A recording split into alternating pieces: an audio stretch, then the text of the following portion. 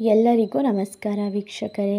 ಇದೇ ಒಂದು ಮಾರ್ಚ್ ಇಪ್ಪತ್ತೈದನೇ ತಾರೀಕು ಬಹಳ ಭಯಂಕರವಾಗಿರುವಂತಹ ಚಂದ್ರಗ್ರಹಣ ಹಾಗೂ ಹುಣ್ಣಿಮೆ ಇರುವುದರಿಂದ ಈ ಕೆಲವೊಂದು ರಾಶಿಯವರಿಗೆ ಭಾರಿ ಅದೃಷ್ಟ.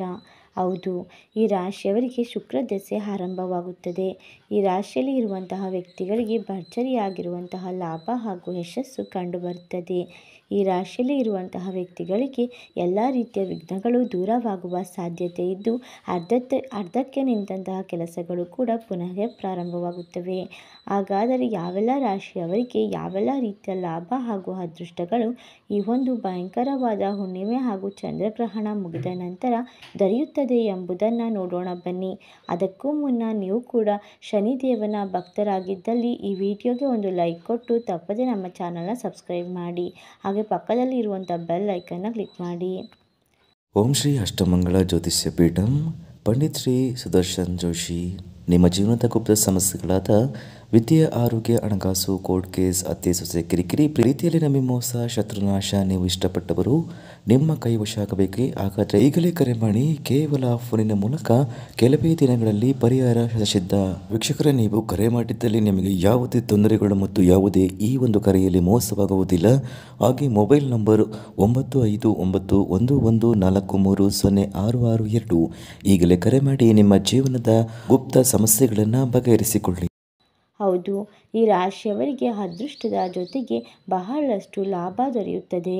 ಈ ರಾಶಿಯವರ ಜೀವನ ಉತ್ತಮವಾಗಿರುತ್ತದೆ ಎಂದು ಕಾಣದಷ್ಟು ದುಡ್ಡನ್ನು ಈ ರಾಶಿಯವರು ಈ ಒಂದು ಹುಣ್ಣಿಮೆ ಮತ್ತು ಚಂದ್ರಗ್ರಹಣ ಮುಗಿದ ನಂತರ ಪಡೆದುಕೊಳ್ಳುತ್ತಾರೆ.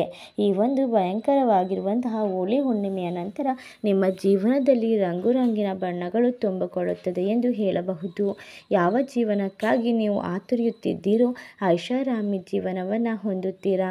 ಅಷ್ಟೇ ಅಲ್ಲದೆ ಈ ರಾಶಿಯವರು ಹಲವಾರು ಮೂಲಗಳಿಂದ ಆದಾಯವನ್ನು ಬರಮಾಡಿಕೊಳ್ಳುತ್ತಾರೆ. ಬಂದಂಥ ಹಣದಿಂದ ಕಷ್ಟದಲ್ಲಿ ಇರುವವರಿಗೆ ಸಹಾಯ ಮಾಡಿ. ಇದರಿಂದ ನಿಮ್ಮ ಲಾಭ ದುಪ್ಪಟ್ಟಾಗುತ್ತದೆ. ಇನ್ನು ಬಂಡವಾಳವನ್ನು ಹೂಡಿಕೆ ಮಾಡುವ ವಿಷಯದಲ್ಲಿ ಸ್ವಲ್ಪ ಜಾಗರೂಕತೆಯನ್ನು ವಹಿಸಬೇಕು. ಯಾರಿಗಾದರೂ ಹಣವನ್ನು ಸಾಲವಾಗಿ ನೀಡುವ ಮೊದಲು ಈ ರಾಶಿಯವರು ಉತ್ತಮವಾದ ಜೀವನವನ್ನು ಕಟ್ಟಿಕೊಳ್ಳಬೇಕು.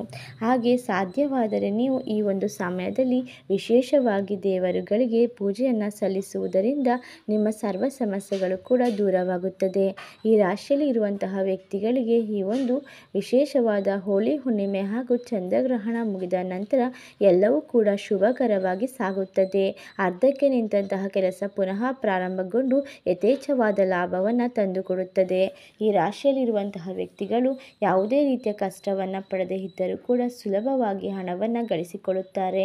ಇಷ್ಟೆಲ್ಲ ಲಾಭ ಹಾಗೂ ಅದೃಷ್ಟವನ್ನು ಬರಮಾಡಿಕೊಳ್ಳುವ ರಾಶಿಗಳು ಎಂದರೆ ವೃಶ್ಚಿಕ ರಾಶಿ, ಸಿಂಹ ರಾಶಿ, ಧನಸ್ಸು ರಾಶಿ, ಮೇಷ ರಾಶಿ, ಮೀನ ರಾಶಿ, ಕುಂಭ ರಾಶಿ, ತುಲಾ ರಾಶಿ, ಕರ್ಕಾಟಕ ರಾಶಿ. ಈ ರಾಶಿಗಳಲ್ಲಿ ನಿಮ್ಮ ರಾಶಿ ಇದ್ದರೂ ಇಲ್ಲದಿದ್ದರೂ ಭಕ್ತಿಯಿಂದ ಓಂ ಶನಿದೇವಾಯ ನಮಃ ಎಂದು ಕಮೆಂಟ್ ಮಾಡಿ, ವಿಡಿಯೋಗೆ ಒಂದು ಲೈಕ್ ಕೊಟ್ಟು ಎಲ್ಲ ಕಡೆ ಶೇರ್ ಮಾಡಿ. ಧನ್ಯವಾದಗಳು.